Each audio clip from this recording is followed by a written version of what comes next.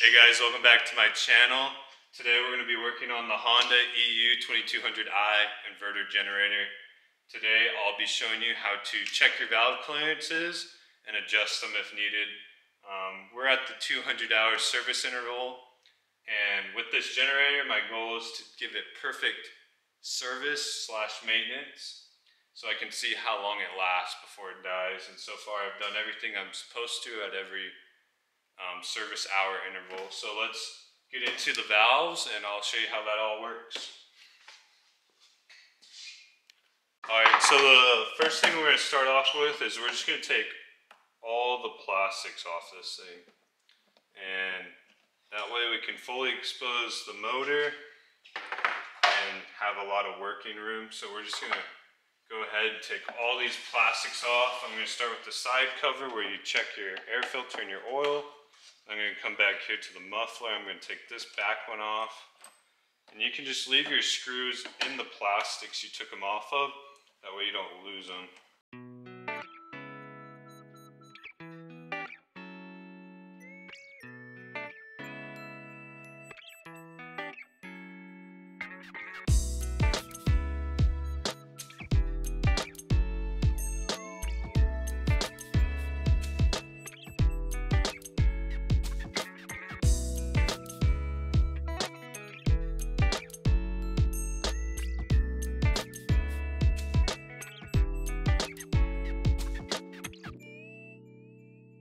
So what's going to need to happen now is we're going to need to take our fuel tank off and these top little braces so that we can expose our pull starter so we can take our pull starter off. And then that way we can be able to align the timing marks that are behind this pull starter with the engine so that the it's going to have timing marks here that we need to be able to see and the pull starter's in the way and then that will allow us to take our valve cover off, look at it, and then check our valve clearances, and if we need to adjust them, we can. So let's get to taking this off. Alright, so we were able to lift the tank up. It just has these two little hooks that go into rubber grommets which hold it. So we've got this stuff out of the way. Now, just to make our life easier, we're going to go ahead and, oh, let me adjust this. Just to make our life easier, we're to go ahead and move this little side mount for the gas tank again on this side. That way, it's just, we have more room to work, that's all we're doing here is we're making our life easier. Okay, so now we can see how exposed our starter is. We'll go ahead and get to work on that. So we got the pull starter off. Now I'm going to rotate this carefully. We do got a ton of pieces. I'm going to bring the camera in. Because this is where it's gonna get a little tricky. Let me see if I can get a good angle.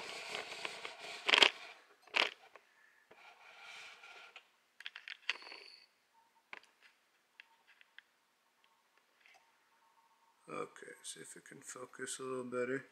Okay, so this little triangle thing right here, this is a timing mark. And that is gonna help you find top dead center compression, so TDCC and that's going to allow us to know that both of the valves are closed. Then we'll be able to measure our valve lash and see if it's in, in spec or not. Okay, so what's going to happen here is, is these are the fins that get turned by the pull starter when you want to start your motor. And you're going to want this piece of the fin lined up here and then this piece that is flat right here that I'm touching lined up with the little arrow. And if that isn't on top dead center when we take our valve cover off, then we'll rotate it again and line up this one over here and then that should give us um, top dead center. So it's one of these fins. They're not labeled just simply because you'll rotate it one more time. Okay, so now we're going to come up here where the spark plug is. We're to unplug this spark plug. And then we're going to take these four bolts off here. And that should expose where we need to go. Okay, so I got this cover off. And it's a little bit stubborn to get off because you do use a liquid gasket maker to seal the cover. So now that we got the cover off, we can come in here and we can see our valves and we can see our our belt that does our overhead cam. So basically, um, when I was in school, a simple way they taught me for screw and lock nut to know that you're at top dead center is if you can move your intake and your exhaust valves. So I'll be quiet. You hear that? So there's play on both of these, which means is both valves are closed, which allows me to know that I am at top dead center. So then I am able to now check my clearance. Spec for the intake, so this is the intake side because the carburetor is over here. So spec for the intake side is 14 millimeters plus or minus 5. So if it's 5 above 14 millimeters, it's okay. And if it's 5 below 14 millimeters, it's still okay. So we're going to go to 20.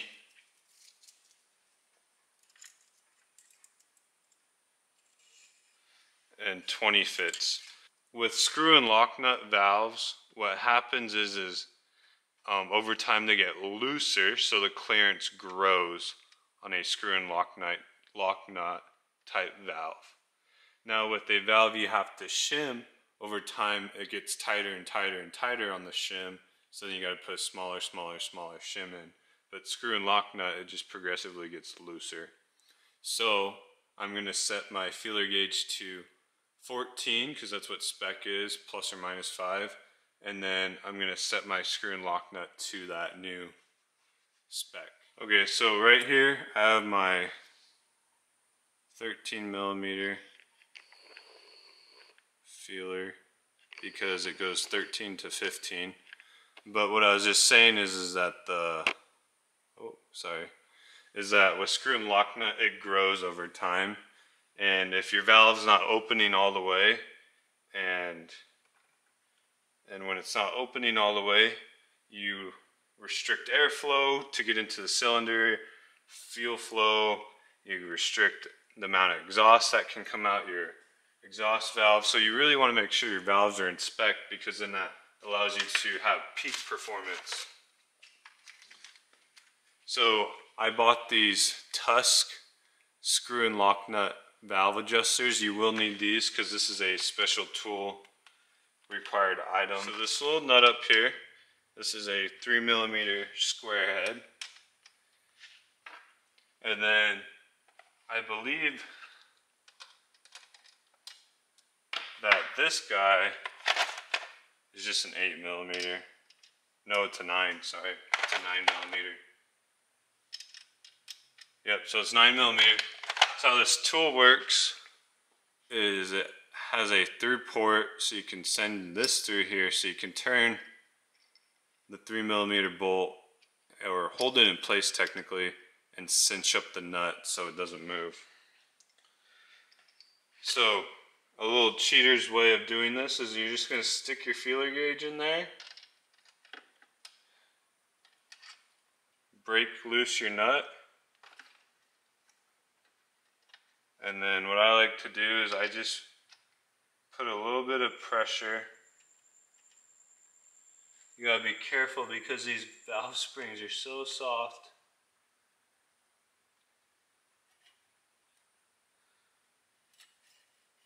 So see, I'm just, I have the feeler gauge in there the whole time.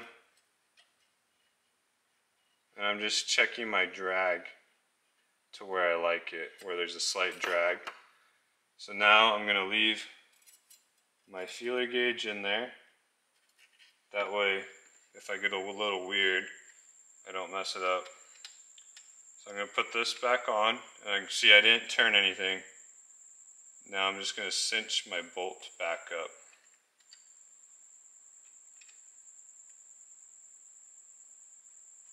Now torque spec for this is 7.7 .7 foot-pounds, but as you can see there's no way for me to check that, but I guess technically. So the, the valve lash clearance spec for this exhaust is 20 millimeters plus or minus 4. So at the biggest, it should be 24 millimeters. So I'm just going to start off by putting in a 25 millimeter feeler gauge. And if I feel like it's too loose, then we're going to need to tighten up the valve a little. Okay, so I got the feeler gauge in there. I like how it is, so I'm to go ahead and tighten it up. Okay, so I did the same thing exactly on this exhaust valve as I did the intake. I put the feeler gauge in there. I set it how I liked it and then it has slight drag so that means it has good contact on both sides but not too much to where it doesn't want to move or it's pushing down the valve spring. Now I forgot to mention when you're making sure you're at top dead center there are two notches on this back side of this cam gear I guess you'd call it for to let you know you're at top dead center and they line up with this right here, the top of your um, valve cover where it would seat. Okay, so if you look, you can see it, especially on this side, but right where my finger is, see there's like a flat line, and then you come over here, there's a flat line right here too. You want to see both of those lined up with this thing I'm touching. I don't know what the technical term would be. But basically, when those are lined up, that means, again, you're at top dead center. Now, if this line was up here, then you'd be in big trouble because you wouldn't be at top dead center. Okay, and that's it for how to adjust the valves on your EU 2200i generator. Now, all that would be left is to scrape off this gasket right here because this is a liquid gasket. So we're going to scrape that off and put our cap back on and you would be good to go. Just reassemble the plastics how you took them off and, and that's it. Alright, as you can see we got our new liquid gasket maker on there. We got our cover. We're going to go ahead and put this on and we're gonna snug her down with the bolts and then uh, I'll just do a time lapse of me putting it back together but yeah that is how you do it and thank you for watching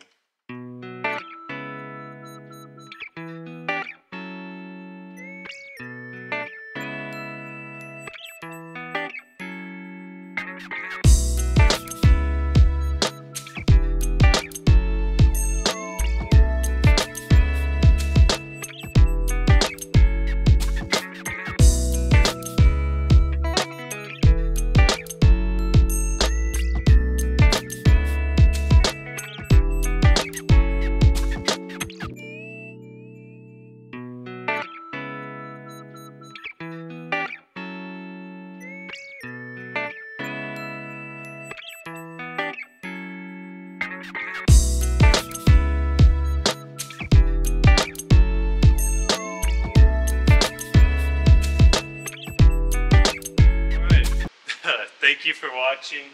I'm still trying to figure out how to talk better on the camera, explain things, and show better angles. I'm still super new to this YouTube stuff and filming what I'm doing. But hopefully that helped you out a little bit. Just remember that the valve clearance for the intake is 14 millimeters. The valve clearance for the exhaust is 20 millimeters both are plus or minus four millimeters, so you can be four millimeters above spec or four millimeters below. But thanks for watching. Please like and subscribe. I'm trying to trying to grow this, make it consistent. And the last thing to do is uh, turn her on and make sure she starts because we just got done working on it. So let's see if she starts first pull like she normally does. That's my baby. Thanks for watching.